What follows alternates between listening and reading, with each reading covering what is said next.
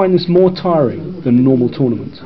Yeah, it's more tiring. Yes, uh, especially because you, it's the preparation was very difficult. Uh, you don't know what what what to do with that. You know, it's uh, uh, it's so unclear. You know, whether you have to go for big you know lines, because you know it, it requires a very very special long-term preparation. If Yeah. if I want to play main lines, you know, I have to be damn sure that you know I checked it uh, very thoroughly with with another computer. Yeah. Now, I I think you know th- you know in game game one, game three, and game four, my my strategy play. I mean, game two, it was a wrong idea to go to main main line at, at all.